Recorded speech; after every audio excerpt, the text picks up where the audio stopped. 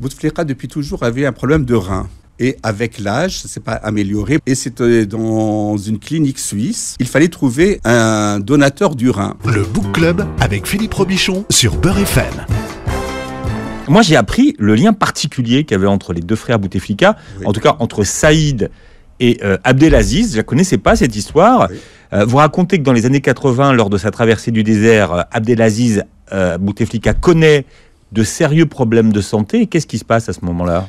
Bouteflika, depuis toujours, avait un problème de rein. Et avec l'âge, ça s'est pas amélioré. Bon, il était très jeune, c'est pas amélioré. Et c'était dans une clinique suisse. Il fallait trouver un donateur du rein. Bon, je suis pas médecin, je m'étais documenté.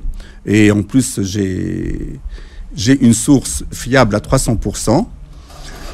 Et c'était à l'époque, je, l'avais appris euh, un ou deux ans plus tard.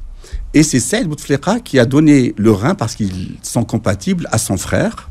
Et il y a eu une depuis lors une relation fusionnelle.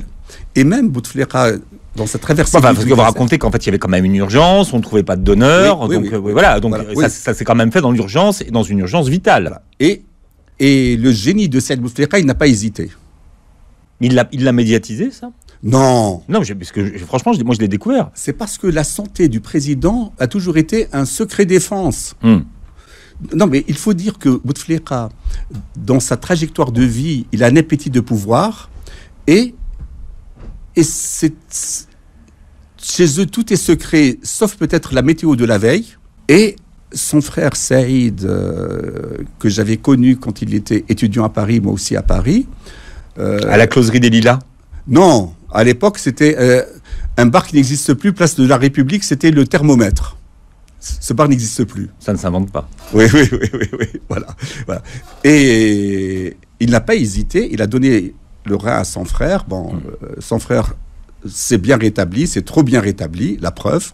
Il a gouverné, euh, ils ont gouverné pendant 20 ans.